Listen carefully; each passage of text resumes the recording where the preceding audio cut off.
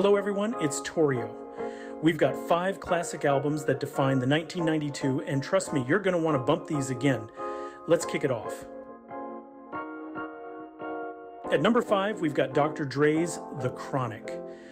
This album introduced us to the G Funk sound and skyrocketed Snoop Dogg's career. Tracks like Nothing, but a G Thang and Let Me Ride were instant classics. Next up at number four is Pete Rock and CL Smooth's Mecca and the Soul Brother.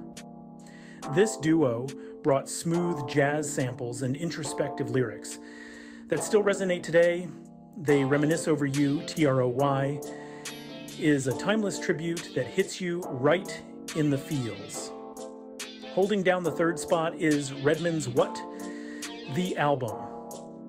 Redman's debut showed off his raw talent and humor with tracks like Time for Some Action and Tonight's da Night that are still bangers. Coming in at number two, we have Gang Starr's Daily Operation. DJ Premier's beats combined with Guru's lyrical prowess made this album a masterpiece. Tracks like Ex Girl to Next Girl and Take It Personal are essential listens.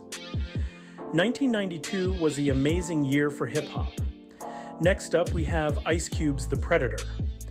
This album was politically charged, gritty, and showcased Cube's storytelling genius.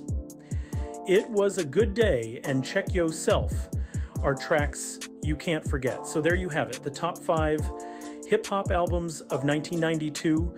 Drop a comment below with your favorite album from that year. And don't forget to like and subscribe for more hip hop content. We will going going year by year.